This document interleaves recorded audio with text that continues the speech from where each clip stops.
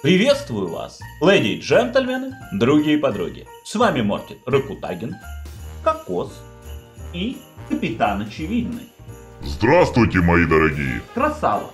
Сегодня мы хотим от всей души поздравить вас с наступающим 2021 годом. Заметим честно, год 2020 для большинства из нас был весьма и весьма непростым. Так вот хочется, чтобы 2021 был полной его противоположностью. Чтобы в этом году все ваши мечты сбывались, ваши родные и близкие были здоровы. Ну и конечно же, самое главное, чтобы вы были по-настоящему счастливы и радовались тому, что вы живете именно той жизнью, которой живете. Где-то заплакал один Кличко.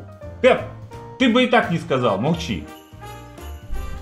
С наступающим вас новым 2021 годом. Счастья, здоровья и любви. Присоединяюсь. Во, красава.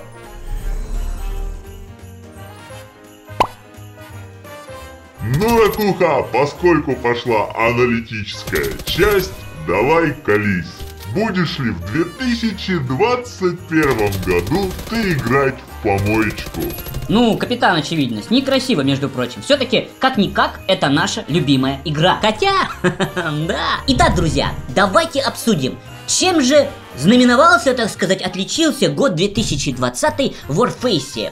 Откуда мы шли и куда, собственно, мы пришли, докатились. И прежде всего, друзья, надо, положа руку на сердце или еще куда-нибудь, Сказать честно, какие были минусы? Вы знаете, вот в Новый год начинать с минусов хорошо, потому что переходишь к плюсам, и потом остается приятное послевкусие. А минусов у нас, ребята, хватало. Разработчики так и не завезли нам новую клановую систему, которую обещали, и вроде как теперь уходят от этого. Ну, вроде там и так все неплохо, что очень жаль. Хотелось бы на самом деле, разработчики хотелось, и идей-то не так уж и мало. В свою очередь и я предлагал некоторые варианты варианты. Например, создание малых кланов, отрядов. Это уменьшило бы текучку и сделало как бы придало вторую жизнь этой системе. Мне кажется, от этого все-таки не стоит, не стоит уходить. Это стоит все-таки разобрать. Стоит подумать над этим. Предложений ведь было немало, не только мое, но и другие люди предлагали. И есть к чему прислушаться, я считаю.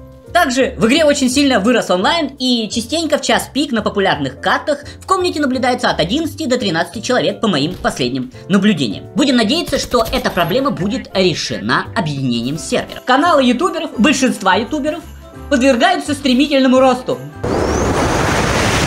Ну а наши наиболее именитые киберкотлеты делают, как у нас сейчас модно говорить, решафл с Warface на Valorant. Правда, не очень приятная, но иногда стоит сказать ее в лицо. Ведь это еще один хороший повод хорошенечко так задуматься, дорогие разработчики. Однако, несмотря на все это, были и положительные моменты в этом году. Правда, я как-то начинаю забывать, какие именно. Ну а если серьезно, нам добавили систему карточек. И хотя многие говорят, что фу, это не то, да это фигня, беда без доната никак, я вынужден с этим поспорить. Я не так уж и много, если честно, по сравнению с былыми годами мало играю в эту игру, и тем не менее, я уже собрал пару пушек, просто играя в эту игру с помощью карточек. Я очень надеюсь, что эта система будет развиваться, она станет более доступной, более действительно недонатной, чтобы практически каждый игрок мог получить какое-то плюс-минус достойное конкурентоспособное оружие с помощью этой системы. Системы настоящего free-to-play. Завезли нам и новый интерфейс, и вы знаете, меня лично он действительно обрадовал. Да, он где-то еще там подглючивает, подлагивает, ну, это, собственно говоря, у нас лагал интерфейсы раньше, так что плюс-минус то же самое все и осталось. А вот выглядит он совершенно иначе. И чтобы алды понимали, это, конечно же, в первую очередь нацелено на тех людей, кто захочет попробовать нашу игру. Потому что то, что видишь, как говорится, встречают по обертке. Обертка, самое главное, ты заходишь, смотришь, ага, графончик, интерфейс, ммм, круто. Пожалуй, действительно стоит покатать. И это важно. За это нашим разработчикам однозначно жирный плюс. Следующее изменение, вы знаете, наверное, самое главное не только в 2020, но и, пожалуй, за всю историю существования Warface. Наконец-то началось, потихоньку, но началось объединение серверов.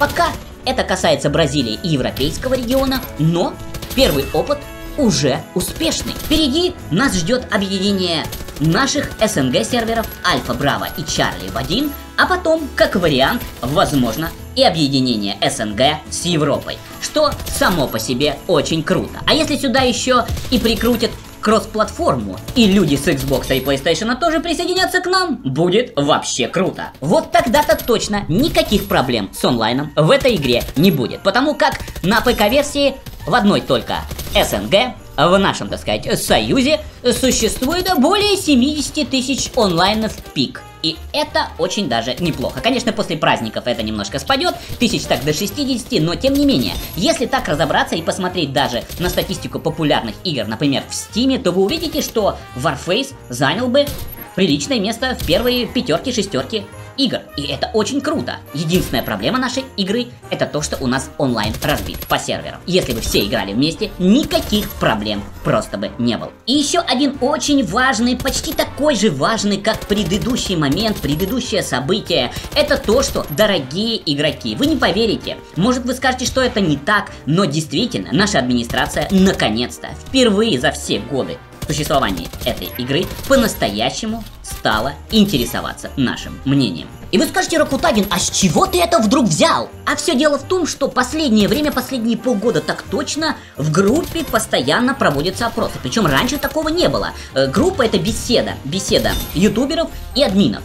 И они постоянно создают посты, опросы, где мы, они прямо так и говорят, можете хоть с матами, пишите, правда, что вы думаете, на что жалуются игроки, что не нравится вам, что бы вы хотели улучшить. То есть, если раньше они считали, что они все знают, теперь они немножко опустились на землю и понимают, что действительно, как бы у них есть опыт, они многое знают, но не всегда то, что думает создатель, устраивает того, кто этим пользуется. Разработчики АвтоВАЗа, привет вам! Вы следующие! Ну а в целом и общем, что можно сказать, друзья?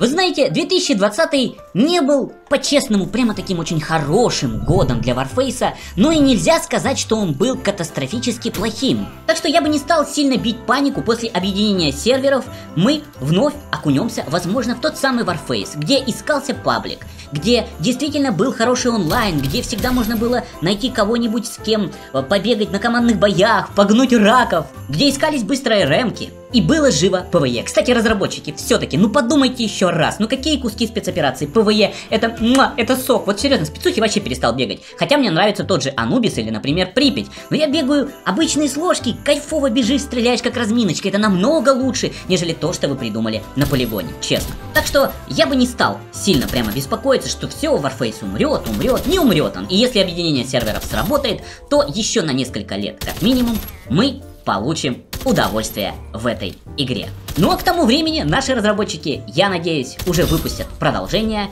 либо аналогичную, похожую по многим полюбившимся нами механикам игру. В любом случае, 2020 уходит, и я надеюсь, от всей души надеюсь, что 2021 станет прорывом, станет возвращением того самого Warface. Ну ладно, с Варфасито разобрались. Теперь расскажи-ка нам, как прошел у тебя 20-й и как ты собираешься жить в 21-м? Ой, капитан очевидность, если честно, у меня 2020 был непростой. Во-первых, я переехал за 1300 километров от э, своего прошлого места жительства, от Москвы. И теперь, если раньше я жил в мегаполисе, теперь я живу, ну если честно, в глухой деревне, на отшибе причем самой этой деревне, а дальше только поля и степи, и больше ничего. И вы знаете самое интересное? Я счастлив до жопы, если честно. Это ни в коем случае не означает, что я ругаю Москву. Я отдал этому городу почти 18 лет своей жизни. И вы знаете, собственно говоря, не жалею. Но я всегда был человеком из глубинки. Собственно говоря, не из глубинки, но с тундры. Оттуда я переехал. Я переехал из покоя, переехал в шум большого города. Но, к сожалению, так к нему до конца и не привык. Здесь мне хорошо, мне все нравится. На улице плюс 8. все здорово. В общем, я всем доволен. Главное, есть интернет, есть Netflix, кинопоиск, все дела, короче.